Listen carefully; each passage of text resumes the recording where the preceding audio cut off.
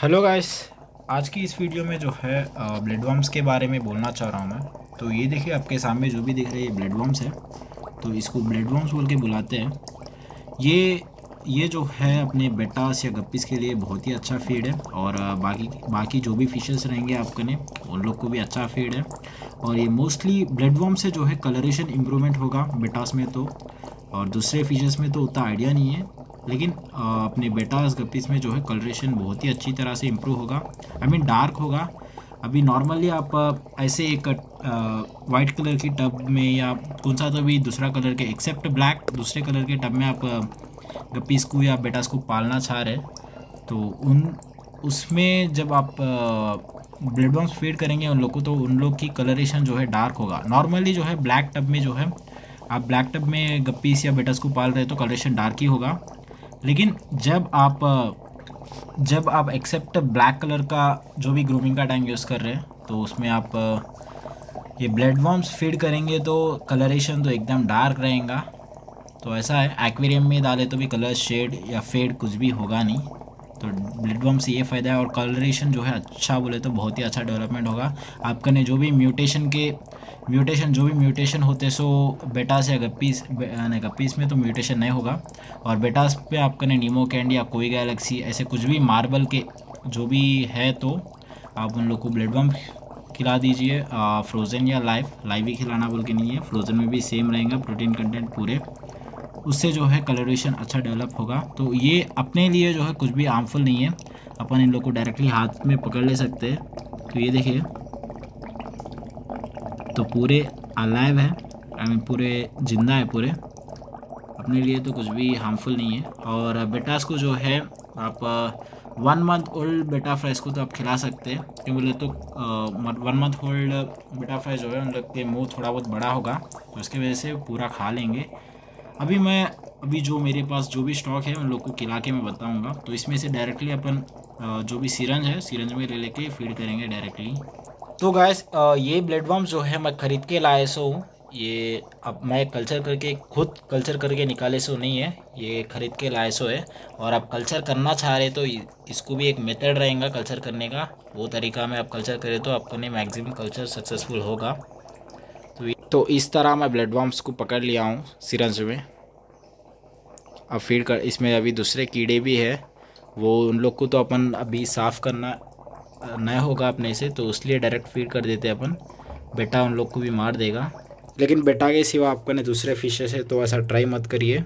फिर वो थोड़ा बहुत हार्मफुल होगा। ये नॉर्मली आपको तालाब में पाए जाते हैं, वो, ये जो कीड़े हैं, वो नॉर्मली आपको तालाब में मिल जाएँगे। तो हैं, अब तो ये अपना रॉयल ब्लू मेल है। देखिए कलरेशन इसका।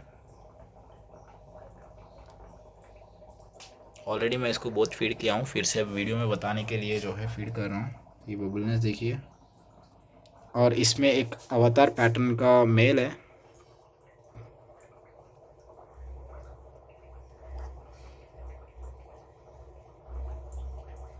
तो आपको ये बेटास या ब्लड वॉम्स भी चाहिए तो कांटेक्ट कर सकते हैं। और ब्लड वॉम्स की लाइव गारंटी तो दे नहीं सकता हूँ मैं अदर स्टेट्स को। विद इन हैदराबाद तो मैं डिलीवरी कर दूँगा। और प्राइस तो मैं वीडियो में कौन सा भी वीडियो में प्राइस तो रिवील नहीं करता हूँ। आप मुझे पर्सनली मैसेज करिए या कॉल करिए। मेरा नंबर जो है डिस्क्रिप्शन पे मिल जाएगा आपको। डिस्क्रिप्शन पे चेक करके मुझे व्हाट्सएप पे मैसेज करिए या डायरेक्टली कॉल कर लीजिए। तो ब्लड वॉर्म्स से जो है बहुत ही फ़ायदा है। और ब्लड वॉर्म्स मोइना और ट्यूबोफ्लिक्स वॉर्म्स ये पूरे जो है अच्छे लाइफ फीड्स है। विदाउट दिस आप ब्रीड करना इम्पॉज बोले तो ब्रीड हो जाएगा, लेकिन जो फ्राइज को ग्रो करना चाह रहे हैं आप, वो बहुत ही इम्पॉसिबल है विदाउट लाइफ फ़ीड आपका ने ब्लड वॉर्म नहीं है तो आपका ने मोइना तो कंपलसरी मैंडेटरी है। विदाउट मोइना आप बेटा को ब्रीड करिए मत। क्यों बोले तो मैक्सिमम ज़िंदा नहीं रहेगा, आप स्टार्टिंग पे आरती में खिलाते हैं, लेकिन बाद में जो मोइना मोइना खिलाने की टाइम आता है, जब आपका ने मोइना नहीं है तो जो है, बच्चे मर जाएँगे। तो इसलिए आप पहले मोइना कल्चर कर लीजिए और बाद में जो है बेटास को ब्रीड करिए तो आपको बहुत ही सिंपल होगा फ्राइज को बढ़ाने में। तो ये है मेरा एक एक आइडिया है मेरा भी। ऐसा क्यों बोले तो विदाउट लाइफ फ़ीड आप ब्रीड कर रहे हैं और पूछ रहे कि ब्रीड करने के बाद मैं क्या खिलाऊँ क्या खिलाऊँ बोल के। तो वैसे जो जो मुझे पूछते हैं तो उन लोग के लिए वीडियो बना रहा हूँ मैं। तो ध्यान से सुनिए आप विदाउट लाइफ फ़ीड आप ब्रीड करिए मत। आपका ने आरती में अभी है तो आप मोइना भी कल्चर करना पड़ेगा आपको। विदाउट मोइना जो है, आप प्राइस को बढ़ा नहीं पाएँगे। अच्छा अच्छी तरह से नहीं बढ़ा पाएँगे। मैक्सिमम जो मोइना जो आरती में खा के बढ़ेगा वो क्वांटिटी जो क्वांटिटी रहेगा वो अच्छा ही रहेगा। लेकिन जब बाद में जो है उन लोगों को अब भी अच्छा ग्रोथ होना बोले तो अब मोइना जो है मैंडेटरी है। विदाउट मोइना आप करिए मत। तो ऐसा है। आप ब्रीड करना चाह रहे हैं तो आप ब्रीड कर लीजिए। लेकिन अब पहले, उससे पहले आप मोइना कल्चर भी एक बार ट्राई करिए। और मोइना कल्चर ट्राई करने के बाद आप ब्रीड करिए। विदाउट तो आप सोचते हैं कि आरते में आगे बार dry feed directly dry feed डालेंगे बोल के। नहीं, वैसा वैसा भी होगा, लेकिन उतना अच्छा नहीं होगा उन लोग के लिए। वो मैक्सिमम फिर आरती में जब स्टॉप करेंगे, उसके बाद में से वो मरना शुरू करेंगे। तो ऐसा भी होगा। तो ध्यान में रख के आप ब्रीड करिए। बेटास को या बेटास को गप्पीस तो नॉर्मली सर्वाइव हो जाएँगे। आप कौन सा भी फ़ीड डालिए, उससे कुछ कुछ भी नहीं होगा। जस्ट लाइफ फ़ीड से जो है क्वालिटी अच्छा रहेगा बस। ये है। तो ये देखिए गाइस अभी प्रेजेंट जो भी बेटास अवेलेबल है, उन लोग की अपडेट बता रहा हूँ मैं। तो ये ये एक येलो ड्रैगन है, और इसका फीमेल नहीं है अपने पास। खाली मेल मिल जाएगा आपको और ये एक ब्लू बटरफ्लाई है रॉयल ब्लू का। और ये एक रेड कलर का फीमेल है। देखिए, इसके अंदर जो है अपन को एक्स दिख रहे हैं। तो एक्सपोर्ट तो बहुत ही कॉमन है गैस तो मुझे बहुत सारे जने पूछ रहे हैं कि फ़ीमेल को एक्सपोर्ट तो फीमेल को एक्सपोर्ट दिख रहा है तो वो ब्रीडिंग के लिए रेडी है बोल के। नहीं, वैसा कुछ नहीं होगा। एक्सपोर्ट जो है ऑल पूरे जो भी फीमेल्स रहेंगे पूरों को रहेंगे और थोड़े मेल्स को भी एक्सपोर्ट दिखेगा आपको। जब छोटे हैं जब तो आप फीमेल कैसा भी एक्सपोर्ट रहेगा। आप जस्ट उसके बॉडी में जो जो एग्स दिख रहे हैं, वो चेक कर लीजिए और ब्रीड कर लीजिए। एक्सपोर्ट तो पूरे फीमेल हर फीमेल को रहेगा एक्सपोर्ट ये एक्सपोर्ट के वजह से आप सोच रहे कि उसको ब्रीड बोले तो ब्रीडिंग लायक हो गया है, वो उसको ब्रीडिंग को डाल देना आप बोल गए। ऐसा कुछ भी इंडिकेशन नहीं होता वो जस्ट फीमेल का इंडिकेशन है एक्सपोर्ट से। तो जब ब्रीडिंग को डालेंगे, जब ट्यूब बाहर आएगा बस, जब भी आप ब्रीडिंग को डालेंगे, जब भी ट्यूब थोड़ा बहुत नीचे आएगा बस, उससे ब्रीडिंग जल्दी होने वाला है बोल के आप सोच सक, सोच सकते हैं। तो एक ताइफ्लैक मेल है और इसमें एक रेड फीमेल है। दो रेड फीमेल्स ये एक वैंडा का फीमेल है। वैंडा तो फीमेल्स आप मोस्टली छोटा फीमेल को चूज़ कर लेना है ब्रीडिंग करते खुद। क्यों बोले तो बड़े फीमेल्स मेल के ऊपर रिटर्न अटैक कर लेंगे।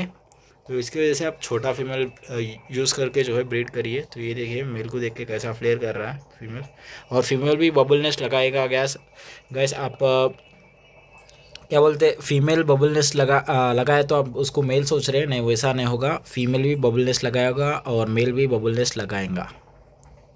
तो ऐसा रहेगा बेटास में।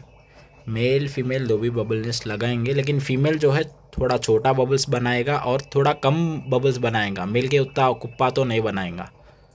ऐसा। तो ये है रॉयल ब्लू ऑलरेडी दिखा चुका हूँ मैं। और इसमें एक जो है अपना कोई गैलेक्सी का फ्राई है। एक मिनट चेक करता हूँ। तो ये देखिए, यहाँ है। और मोइना कल्चर की वीडियो जल्दी आने वाला है।